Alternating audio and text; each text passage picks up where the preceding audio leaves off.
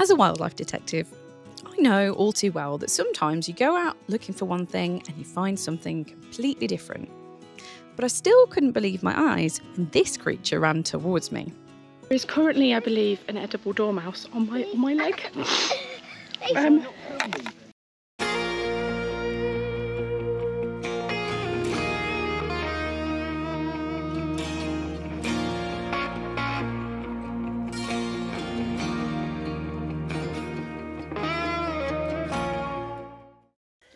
today we're on the lookout for something hmm, something unusual. whether we'll find them or not is another matter. But i have suggested that uh, there is a prize for finding them. And i've said that i will pay 50 pence per one of these creatures that we find up to a maximum of five pounds. So we'll see if that's an incentive or not. I'm going to be completely honest with you. This trip did not go to plan. And yet, I don't think I could have filmed what I did if I'd actually tried to. And I still can't really believe it. So I've been wanting to take a trip to the Chilterns to film this one for a while. And as our target species are quite slow moving, when my husband suggested it, I saw no harm in turning this into a family adventure. So we packed the kids into the car and drove off to Buckinghamshire.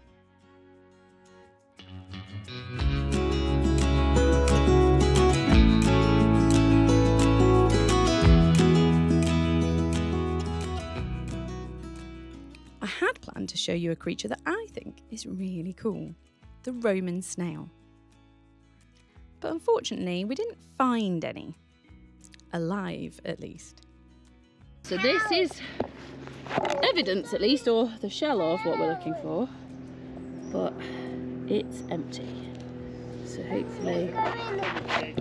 Yes, I know, okay, it's full of dead snail. Would you like to see? It's full of dead Can I see? Although we couldn't find any live snails, we did spot lots of their distinctive shells around, and this unfortunately very recently deceased individual. There's so much I want to tell you about these creatures, but I'm going to save it for another day. Hopefully, I'll have more success in a future episode. You know, with actual live ones. Hey, Dad! Twig! Twig! Alex's impression of a kite. That twig got a to you! Let's go. There it goes again. It's more, I think it's more of a pew.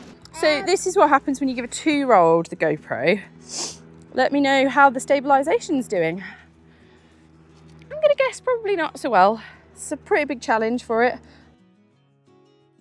We discovered lots of awesome fungi while we were searching for gastropods. These were a few of my favourites.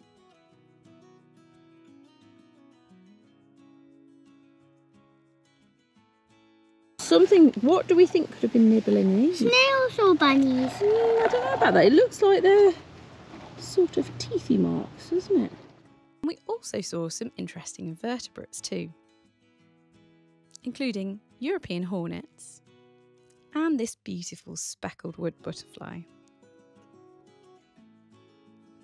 And in the botany department, I came across a species that I have wanted to see for a while. This is woodruff. It's a member of the bedstraw family or Rubiaceae, and it's also an ancient woodland indicator species, which makes sense as these beechwoods have been here for a very long time. But just as we were about to give up our search altogether and head back to the car, something pretty crazy happened. I was lagging behind with my toddler when I saw my husband and my daughter had spotted something along the path ahead of us. I'd mistakenly assumed they'd found another cool fungus, but then when he mimed a shh at me, I thought again. A tiny animal, maybe? There is currently, I believe, an edible dormouse on my on my leg. Um, Hello! no, apparently not. But this, That is my bread. he's just climbed up my leg. I didn't expect that was going to happen. We were looking for snails. That is my... This incredibly cute little creature is a young Glis glis, known as edible or fat dormouse. I always feel like these are pretty harsh common names. And it's because the Romans liked to fatten them up and eat them as a delicacy that they're called this. But the Romans aren't actually the reason they're here today. These cute little rodents were brought over to England by Walter Rothschild in 1902. Apparently, he brought six of them over to Hungary to join his menagerie at Tring Park in Hertfordshire, where he famously kept many exotic species, including emu, giant tortoises, and kangaroos, as well as zebras, which he reportedly trained to pull a carriage. But the dormice didn't stay captive at Tring, and they have now multiplied. They're still mostly within a limited range of Tring, occupying woodlands around the Chilterns. Glis glis are usually mostly nocturnal, so I was a bit concerned that this little one was on the ground in the middle of the day. I wasn't sure if it might be injured, so I called a friend who has experience with this species for some advice.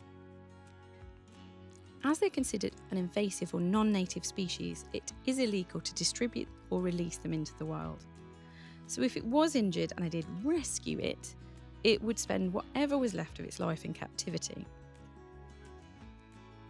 After a brief call, I decided it was best to leave it be, by which time it had scurried up a nearby tree anyway.